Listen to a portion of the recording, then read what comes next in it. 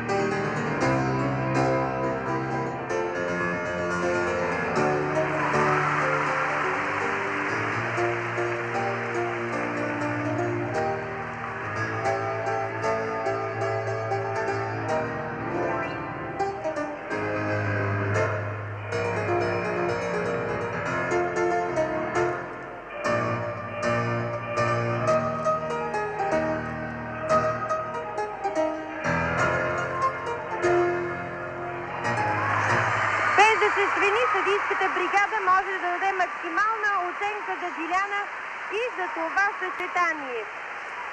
Диляна може да бъде доконена при минимална оценка 9,95, но не може да бъде надмината. А това, което тя показа, ме кара да вярвам, ме кара от сега да обявя, че нашето момиче ще потвърди световната си шампионска титла, спечелена в Страсбург от преди две години. Japón. Marta Cantón, de